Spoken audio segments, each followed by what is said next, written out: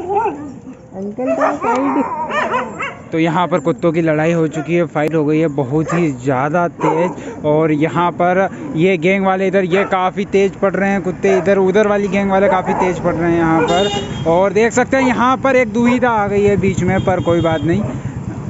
वो वो ओ my my god oh my oh my god ये कुछ ज़्यादा ही हो गया। कुछ ज़्यादा ही हो गया ये। ओ व्हाट इज़ दिस ये सब तितर बितर हो गए। अंकल जी जने क्या कर रहे हैं वो? ओ माय अब ए, वो हमको बस रहा है वो हमको बस रहा है। अब हमारी क्या गलती है बे? काफ़ी काफ़ी खतरनाक माहौल था।